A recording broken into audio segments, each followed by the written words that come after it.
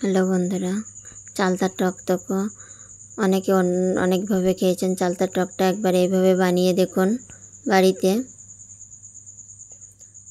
প্রথমে চালতা টক বানানোর জন্য চালতাটাকে কেটে নেব। দেখুন চালতা কাটতে যেয়ে আমার অবস্থা অনেক কষ্টের পরে চালতাটাকে কাটতে পারলাম।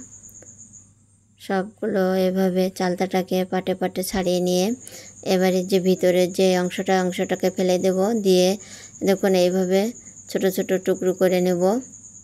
নিয়ে এবার এটাকে ছুলে নেব। ভিতরের অংশ একটা আছে, ছাল এটাকেও ফেলে দিতে হবে। বাইরের যে নেলে খোসাটা, ওটাকেও ছুলে ফেলে দিতে হবে।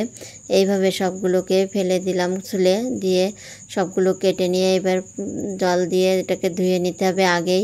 তারপরে শিলবাটা এমনভাবে থেতু করে নিলে হবে।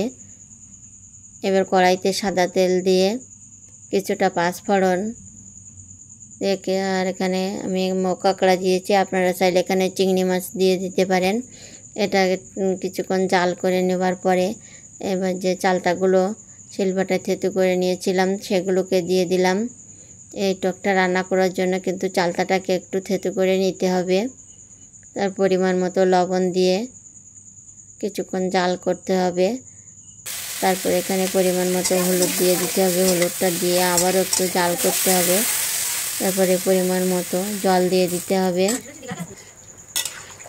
এবার এটা বলকটা পর্যন্ত অপেক্ষা করতে হবে। এটা বেশিক্ষণ লাগে না সেদ্ধ হতে। দেখুন বলক উঠে আসার পরে আমি এখানে সামান্য একটু গরম মশলার গুঁড়ো দিয়েছি। দিয়ে ভালোভাবে মিশিয়ে নিয়ে বলক উঠলে তৈরি হয়ে যাবে চালতার টক। কে কে এমনভাবে চালতার টক খেয়েছেন কমেন্ট করবেন। আজকের ভিডিওটা এই পর্যন্তই।